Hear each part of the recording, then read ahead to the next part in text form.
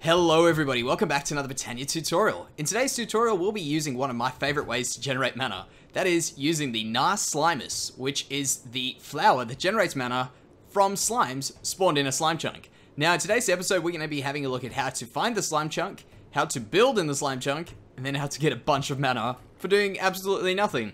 So let's get to it. Now, before we go anywhere, I want to demonstrate something quickly. Uh, in the Lexica Botania, it does say that this has to be generated in a slime chunk. So if we put a slime down here, you can see they don't get destroyed. They just jump off the edge, and you don't get any mana for it. So it has to be from a slime chunk, just so that you know. Okay, to find a slime chunk, you're going to need to make yourself what is called a slime in a bottle. Now, you'll need these ingredients here, so Elementium ingots, elf glass, and a slime ball. Now these two, you need to have already made yourself a portal to Elfheim, and for the slime ball, if you're playing Garden of Glass, your easiest way to get it is by going to the nether, grabbing yourself a magma cream, using a water bucket on that, and first slime ball, just like that. Then what you want to do is go up to a crafting table, craft the thing up, and I will show you how to use it once we've got one. So there's our slime in the bottle, and it looks like we're very lucky. We are most probably standing in a slime chunk right now, so let's press F9, and F9 again. So, there we go. Now, what you can see on my hotbar here is the slime jumping up and down in the bottle. You can see it all the way throughout this entire chunk, because this is a slime chunk. As soon as we walk into that one, nothing. And you can also see it in my hand. You can see it jumping up and down like that. So that's the easiest way to find a slime chunk. Once you guys have got yourself a slime in a bottle, or you have gone online and searched for where your slime chunks are, find your slime chunk, like that, and you can see I've already started building some platforms. So we'll go down all the way here until your Y position is Y equals 38. Now, they will spawn from Y equals 40, but Y equals 38 is the level you'll need to build on to allow that these slimes to spawn. Now you can see I've gone and built every possible platform you can build here. We've left a three gap in between platforms, so you can see that guy can spawn, all those guys can spawn, we'll just keep going down. So another thing I've done is I've left glowstone in the middle there just to make sure that they are bright enough so that things will, other mobs won't, won't spawn while we're doing this. But you'll see soon enough that we don't actually need any other light sources, even that glowstone won't be necessary. So what we're going to do is we're going to lay out our Narslimmuses. Now, you only need one platform, but the more platforms, the more mana, really. Now, what I'm going to do is this is the full chunk completely laid out. You can see here.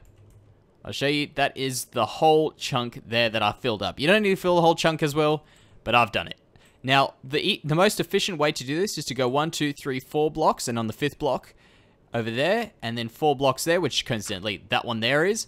And if you wanted to cover the most area, that would be one of your best ones. Now, the reason for that is, I'll explain once I've done this. So it's there, there, and I'm fairly certain around there. The reason, as I say, is because if we just select that there, we've only got two blocks in the middle there, and two blocks in the middle there that aren't covered, along with two blocks on the sides here that aren't covered.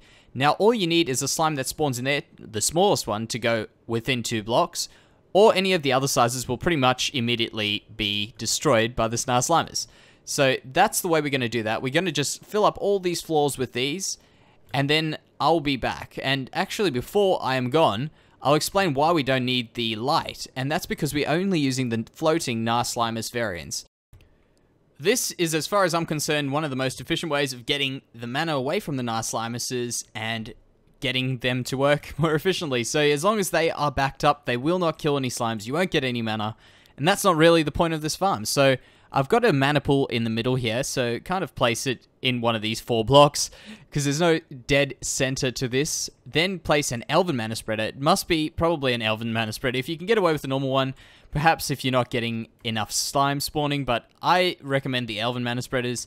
They work a charm, and each of these have also got a spark on them. You can see there, all these sparks, just plain sparks all the way down. I've also got those sparks connected to a mana pool around here, and that mana pool's filled up already, which is quite insane because it hasn't been running for too much longer than what I've been recording for, so that's that's really, really cool. Now, there's a mana pool there, there's a mana pool there, and we've got away with only two. So the way I've done it is I've gone down one, two, three, and on the fourth platform, I've gone one block up, so we'll just grab a block there. You can see I've got one block up and out, and that's close enough for all of these mana pools to connect to that down to this one here. This one will this one down here won't. And that's why we've got this one here doing the exact same thing, four down and then there. And that works really, really well. Now, as far as I can see, that is the easiest way to get mana out of here.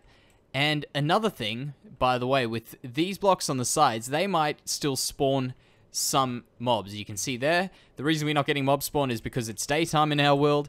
But if you were going to try and kill two birds with one stone, we could, for instance, get some mana glass. We could go mana.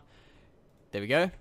And we're going to need to build a wall around this. If you have built this in a Garden of Glass world, you, you'll most definitely need to build a wall, or else you're going to lose a lot of slime. So if you put mana glass around, you'll see that gives off light, you won't have any problems with mob spawning. So if you wanted to just do that, get yourself a full wall, and you'll have the most efficient slime farm I think you can get. Okay guys, so that seems to be everything I think you'll need to know about making one of my favorite farms, as I say, in Botania. And also, by the way, I should have a tutorial coming out for a better way to send mana from those pools on the sides there out to your main mana system. So stay tuned for that. But I hope this has come in handy. I hope you can get a lot out of this. This is basically the most passive of a farm you can get with Decay on. But thank you very much, guys. Hope this helps, and I'll see you next time.